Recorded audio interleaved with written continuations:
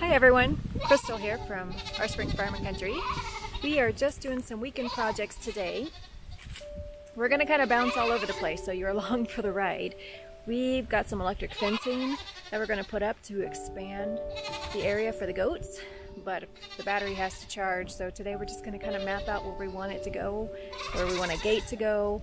We've got a tree to move, cut up, um, we had an old jungle gym in the front yard from the previous owner's children and we've been using a lot of the wood off of that to make other projects such as the gates and things that you've seen in other videos. And we may be stealing a little more lumber off of that to do the gate work or some other work that we're doing. But anyway um, it's just going to be here there and everywhere today. You're going to see goats fencing trees who knows what. But come along for the ride and we'll show you what we're doing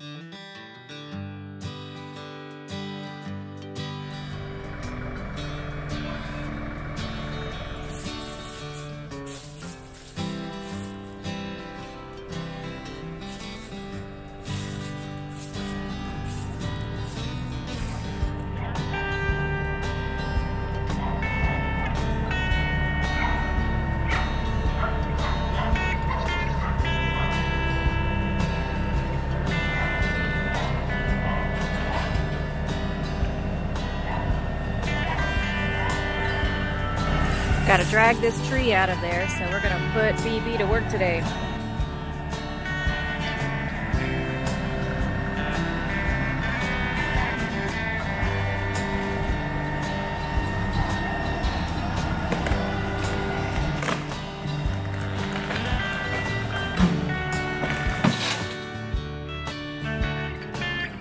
Oh, that chain wasn't strong enough.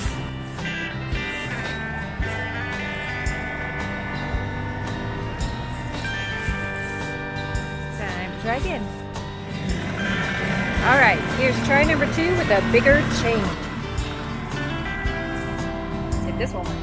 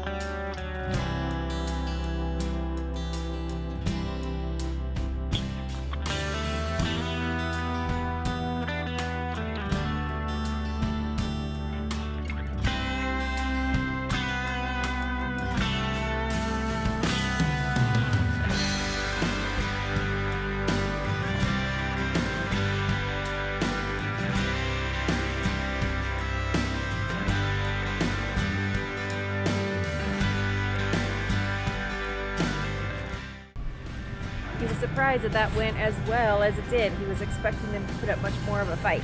But we got those two logs moved, so now we can move on.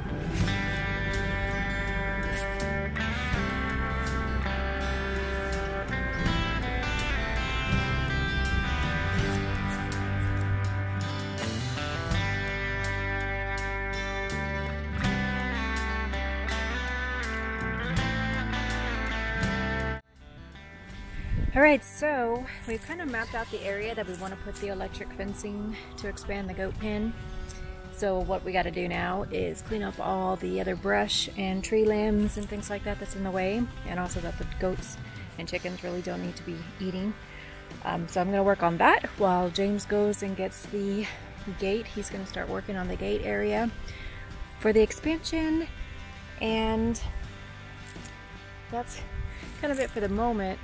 Um, I don't know if you can see behind me here, but we're gonna take it all the way around these trees here. And it'll actually be a pretty good extra area for them. And the nice thing is, is we're replacing the gate. We can actually make paddocks off of that with the electric fencing and move them periodically when they've gone through all the brush on there. So they constantly have some fresh grass and brush and weeds and all that good stuff to forage on. Because when we put them in their fence to start with, it took them less than a week to clear it out. And I mean clear it out. And it's not just the goats. Yeah, goats are great for weed control, but chickens. The chickens eat as much as the goats do. They love leaves and grass and weeds and all those things too. So if you need weed control, don't just think goats. Get some chickens. But anyway, I'm going to get busy on this.